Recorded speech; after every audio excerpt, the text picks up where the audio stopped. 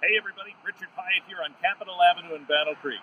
Would you pay $100,000 for a terrific house, but then have to move it off the lot where it sits to another location?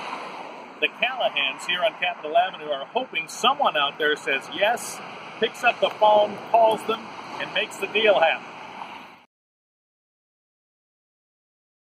Marilyn Callahan, this is a tremendous house that you have here, and uh, you're really asking to find a certain person who'd be willing to buy this house and pick it up off this land and situate it somewhere else. Yes, to preserve it.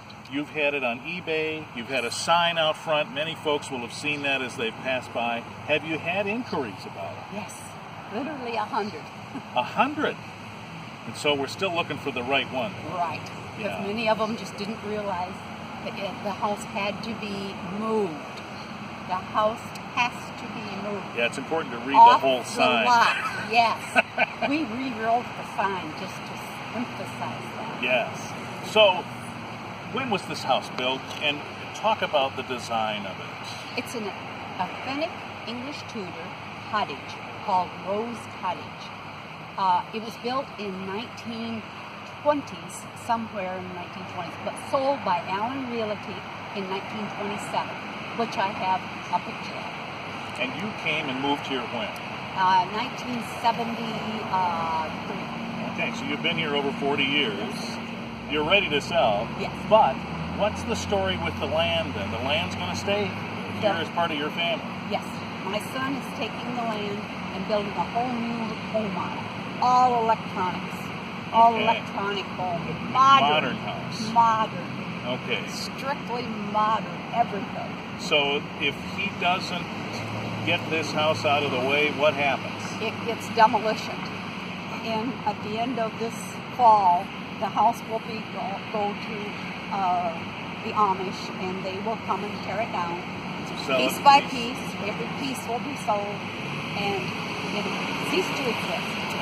And that is a little bit heartbreaking, isn't it? Yes, I'm going to take off and go to Florida so I can cry down there.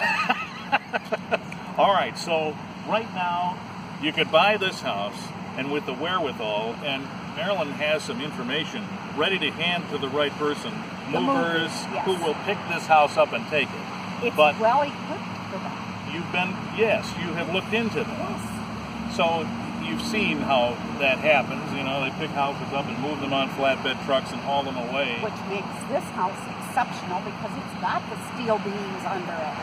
For That's right, to hold it together. Yes, to hold so it together. you've looked into this. This isn't just a, a dream that maybe somebody will, will come along and buy it and, and No. haul it away. It can be done. Yes. So how much do you want? Well, I want 100000 for the house. That's my asking price. But it's going to cost 20, 30, 40000 to move it. So I don't know exactly uh, how much. It All depends on how many miles they have to take it too. That always is a, Right, that that'll make Yeah. a difference for the for the person who buys it. Right, So it's negotiable. right. it is very negotiable. Well, uh, offer you the best of luck, and uh, let's see if we can't find a buyer. oh, please do. All right. Thank you.